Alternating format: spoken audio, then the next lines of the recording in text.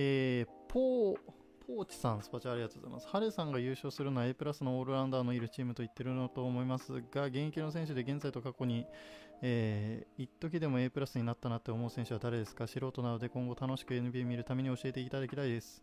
現役選手でオールラウンダーの A プラス？オールラウンダーの A プラスのことですか？なんかね、俺の中のオールラウンダーはこの辺なんだよな。えー、小型オールラウンダー、大型オールラウンダー、あ、中型オールラウンダー、大型オールラウンダー。まあ、こんな感じですね。で、A プラスで言ったら、まあ、一時でも入った選手は、テイタム、KD、レブロン、ヤニス、カワイ、ヨキッチ、エンビ、ドンチッチ。で、オールラウンダーで A プラスに入ったのは、この辺りじゃないですかね。A で言うと、まあ、この辺かな。で、A マイナスで言うと、こんな感じじゃないですかね。いや、もうね、ホリデーオールラウンダーでいいんじゃねえかなって。3あんだけ入って、ハンドラーできて、ポストプレーもする。アイソレーションもする。やってることはオールラウンダーの選手と変わんないんじゃねえかなと思って。イグダラが A プラスの時、イグダラが A プラスの時はないっすね。ファイナル MVP 取った年ですら別に A プラスではないんじゃないか。めちゃめちゃディフェンスすごかったけどねっていうだけで。まあだけっていうとあれだけど。サボニスはオールラウンダーではないのでは？ジャスティン・ホリデーはランニングシューターですね。アデバヨもオールラウンダーに入るんかな？アデバヨは超有能なラジコンみたいな感覚だけどな、俺の中で。ジミーはユーティリティですね。ポール・ジョージはアスレチックシューターかな。ドンチッチがショーなのはなんで？えー、ピック使った攻めが多いからですね。アイソが多いのは中型。ポストプレーが多いオールラウンダーは大型。ピックが多いオールランダーは小型。あ、ランドルはね、ワンチャンオールランダーにしてもいいかもしんないですね。ショー2人しかいないのか。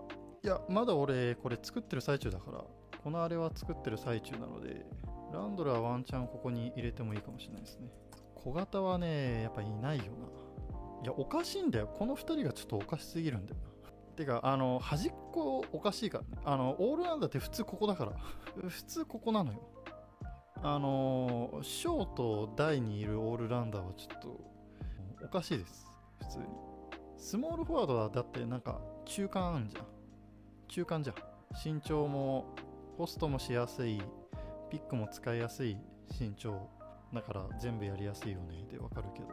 大型がだってね、ピックも使っちゃうとかさ、小型がポストもしちゃうとか、ちょおかしいんだから。まあ、ポール・ジョージも入れてもいいかもしれないですね。ただ俺はやっぱね、あの、ジェイレン・ブラウンとかザック・ラビーンとに近いんじゃないかなと、個人的には思っております。あー、いいとこ行ったね。マーカス・スマートね。いや、俺めっちゃ迷った。スマートはマジで迷った。ただ、ちょっとランニングシューターとして使われてるイメージがあんまなくてですね。まあ、それで言うとホリデーもそんなだったりするんかなとか思うんだけど、スマートは、あのいや、めっちゃ迷ってる。なんなら別に入れてもいいかなと思ってるぐらい迷ってる。ブランソンは最強のスコアリングハンドラーなんじゃない？スコアリングハンドラーか、プライマリーハンドラーかな。あー、クズマね。クズマ入れてもいいかもね。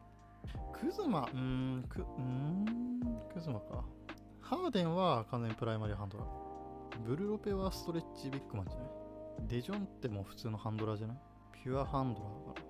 スマートってスコアリングガードとして見てますか？いや、あのーちょうど中間。ピュアでもあり、スコアリングでもありっていう。でもそこのタイプ分けを俺どうするか今迷ってるんですよ。マルチハンドラーとか作ってもいいんかなとか思ったりして。ヘイワードとかもそうなんだよね。ヘイワード、ボヤン・ボグナノビッチとかめっちゃ迷う。ボヤンをランニングシューターとして見るにはちょっといろいろやりすぎてる気がするしどうしたもんかなっていう。この辺の話も本にまとめるんですかてかこの辺の話がメインですね僕は。だからあの Excel でこうやって作ってるっていう感じです。でもただこういうタイプ分けだけじゃなくてじゃあこういう選手を生かすためのセットウェンスってどんなどういうのがあるのかとかこの選手を使う上での弱点は何なのかとかこの選手に相性のいいタイプは何なのかとか。プライマリーハンドラーと相性のいいタイプはとかさ。アスレチックシューターと相性のいいタイプとかタイプはとかさ。逆に相性の悪いタイプとか。なんかその辺を本に書けたらいいなと思ってます。ベルターンスはランニングシューターですね。マリアノビッチはどうする？マリアノビッチはあのポストプレイヤーよ。デローザもクソマヨデローザンマジでなんだろうな。あの人さ、いや俺もともとアスレチックシューターやったよ。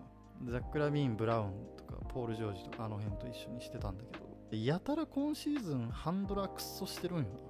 ほぼ攻めがあのピックからの攻めになってて、もはやだからそれってガードや。ハンドラーやん。普通に。ってなると、スコアリングハンドラーなのか、でもなんかロジアーとかと一緒にしちゃっていいのかなとか思ったりもするし、オールラウンダー、プライマリーハンドラー、どっちかなんかなとか。MPJ はランニングシューターじゃないかな。それがまあムーブメントシューター。ムーブメントシューターかな ?MPJ は。ナズリードはアスレチック系。うーん、その辺もね、難しいんだよね。バーサタイルっていうあのアメリカの言葉を用いれば、バーサタイルビッグマンだと思います。そうなると、オールラウンダービッグマンをね、なくす必要があるんだよな。それ言ったらエンビードとかもバーサタイルなんだ。まあ、いろんなことができるビッグマンっていう 簡単に言うと、すっげえ大雑把な、なんか言葉だから、俺はあんまり使いたくないね。マイルズ・ターナーもまあストレッチビッグの枠だと思います。ブルロペに近いんじゃないかな。ただ、ポストプレーとスリーポイント両方なんか好きな選手のことはあれデュアル、デュアルビッグマンと呼んでるので、